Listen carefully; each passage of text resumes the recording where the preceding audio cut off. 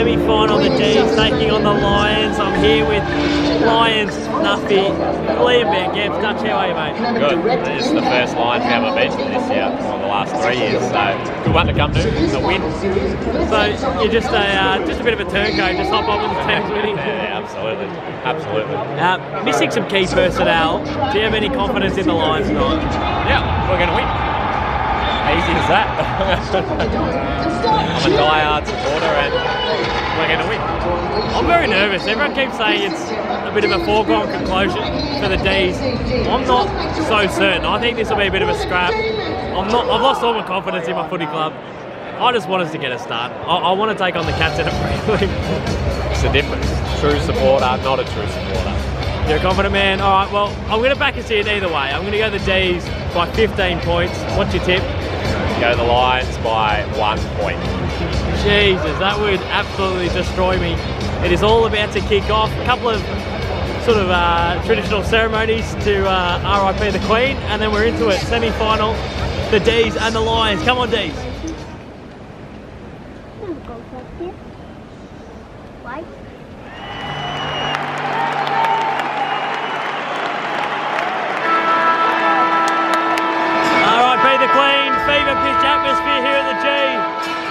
The formalities are out of the way, and here we go. Do or die. There is no tomorrow.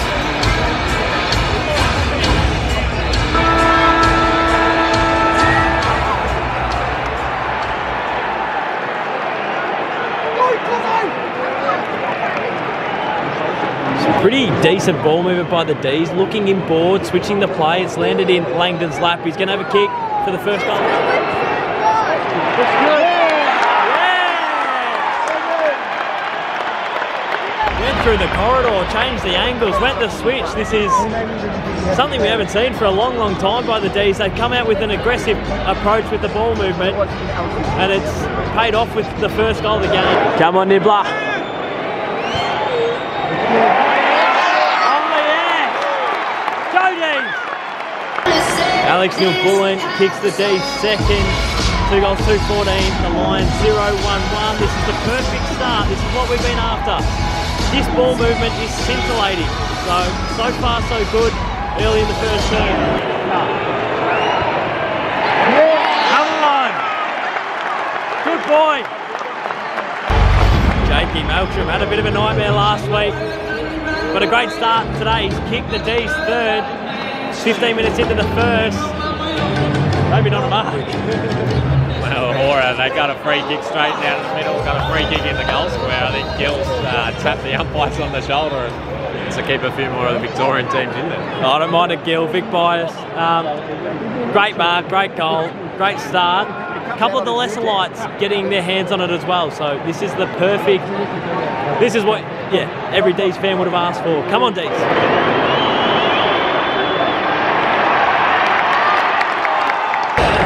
Charlie Cameron kicks a snag. It's only a 15 point margin for all the dominance we've lacked. Some real conviction on the scoreboard. That is his first goal against the D's this year, I reckon, and we'd want to keep him quiet in a game like this. Swamp giving me the stats all game, like I've never watched a game of footy before. Well, Pig's had his measure, but that's, um, yeah, we really don't want to let Charlie Cameron get off the chain. That's a little bit disappointing. The time here at the MCG, the D's are 3 6 24, the Lions 1 3 9. They almost got on top for the last sort of five minutes of that term. Um, so far, so good. Can't complain with the start. Potentially would have loved to get on the scoreboard a little bit more. Um, left a couple of goals down on the park, but cannot complain with that first term. We've just got to keep it up. Cosy Pickett, something from nothing. Bit of a stagnant second term at the minute. Um, pulled something out of the rectum, sort of uh, against the blue style. You can't hit a 20 metre kick. I don't think you're going to beat the Demons. Uh, They were almost pressing there for a little bit, the Lions, but that was a nice, handy little settler for the D's. Eric the Eel marks in Eric the Eel territory. I reckon I've seen him land a couple of these against the D's across the journey. He'll kick from 51 metres out from downtown.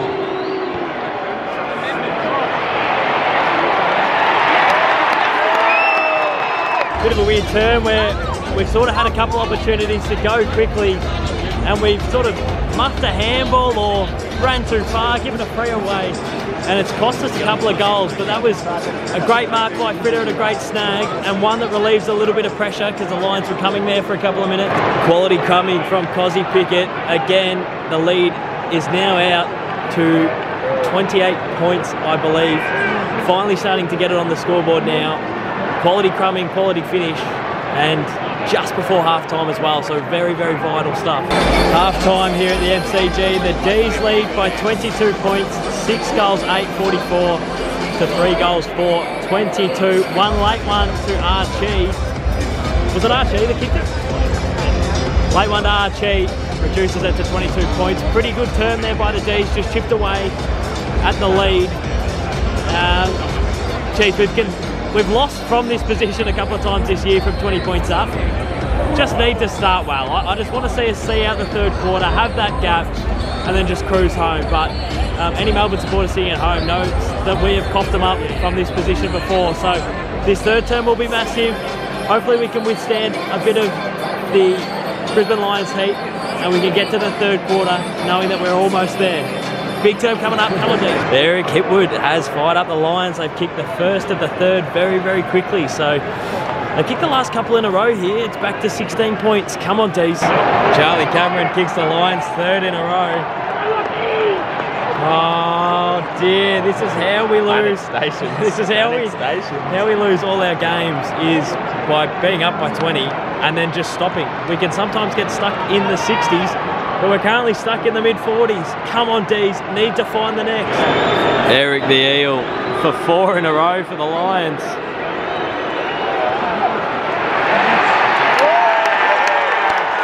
Four in a row for the Lions reduces it to five points. I hate, I hate my life. Oh, this sucks. This absolutely sucks. The Lions reduce it to a point. Good kicking's good footy. We've missed so many opportunities, and it's been all Brisbane the last quarter and a half. So it's the same story, the same situation. Lead by 20, and we just can't hold on to it. We're going to have to really grit our teeth the last quarter and a bit here because the Lions are coming home with the wettest of sails. We've missed multiple chances going forward. The lights have turned off at the G. Bailey Fritsch marks directly in front. He'll kick from 50 metres out. Simply must take this opportunity. Biggest kick of the day for the D's. Come on, Fritter. Go, D's. Come on. Late, late goal to the D's. Much needed. We get the one, one goal buffer back the Lions have come home strong all term. Sets up for a really interesting last term. Harrison Petty getting booed by the Lions supporters. I'm not quite sure about that nonsense. Oh. Finally, we needed that. Come on, D. Two late goals against the Tide. Alex Neal-Bullen kicks his second. Great contest by Ben Brown. We literally needed that. We're on the ropes there for a minute. I don't know how long's left of this third term, but the MCG is going wild. Come Darcy on, Fort lining up to answer back late in this third term. that 5 and 0. 5 and 0 from, from set shots this year. Late in the third term, has nailed it. Three quarter time, and Eric Hipwood has kicked another one. All even. That was like a six goal to one or two quarter. Disgraceful. We fall apart after half time. It's been happening for a long, long time. So frustrated. If you go on trends about like every game we've lost, we don't get home from this sort of situation. So super, super frustrating. And we're going to have to dig deep. Free kick to Daniel McStay, top of the square to give the Lions a six point lead. Start of the last. Brayshaw runs it home. Great goal from 50. It is so loud here. Down by two points. Got to find a way. Come he is living in the Lions for 50 start of this last. They are peppering the goals, but they can't quite find the shot to give that gap.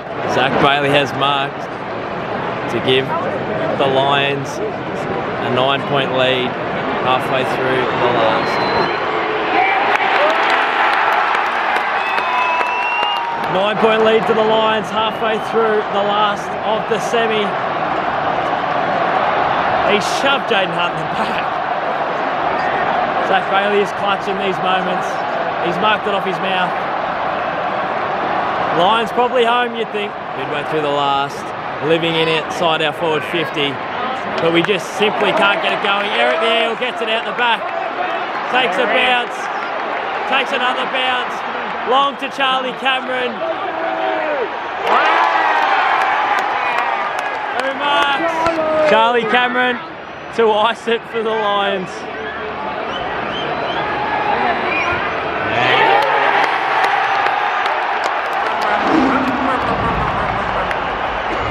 Sums up our season. Sums up our back half of the year. We're done. We're shot. The premiership defence is over. Two late consolation goals. You fielded the D's. There's about two minutes on the clock. It would take some serious bang, bang, bang brigade sort of stuff to get it done, but I don't know. Daniel McStay of all people.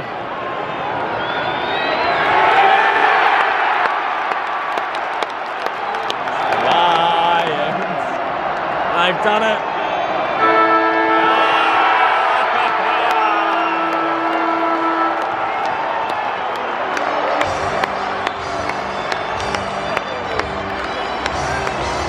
Operation Defend the Flag failed.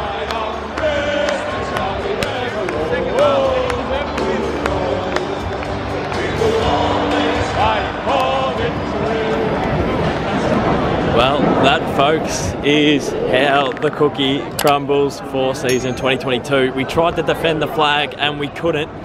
We've been bundled out in straight sets by a supporter base that was booing Harrison Petty. That's that stinks. That certainly stings. Um, yeah, super super frustrating result. But to be honest, at halftime when we led by 22, I had utmost faith that we would get rolled over, and it has happened a lot this season. We've been leading by 20 or so points. I think every game we got rolled in, we were leading by 20 points at one way or another. Um, and then just couldn't hold on. So when we were sort of even with teams at three quarter time, sort of 15 to 20 points up, we would consistently get chased down. So I think the boys need a big pre season. Um, and another thing that was sort of frustrating towards the back end of the year, we were just so banked up. Like that second half of the season fixture was brutal and it took a toll on us. And um, I know our injury list looks good on paper, but there were so many boys carrying, carrying some injuries in the back half of the season. Um, so it felt like we limped to the, the finish line. We got second, um, but we just didn't have that power. And I know for little patches we could put on three, four, five goals, but we didn't do it enough this season. In saying that, it's been one of the funnest years I've ever watched the Melbourne Football Club. I think we only lost six six times throughout the season, or maybe seven times. So um, even though it's been sort of frustrating and we haven't lived up to our own lofty expectations, it's definitely been one of the best years I've ever had being a Melbourne supporter. I am going to wrap up the vlog here, guys. That is it for the game day vlogs this season. I really appreciate everyone hopping on board and getting around them again this season. It's one of my favourite pieces of content to do throughout the year. Um, I really do appreciate the support. I really appreciate everyone tuning in. I will see you next year, round one, for the D's next Premiership Assault in 2023. Cheers, guys.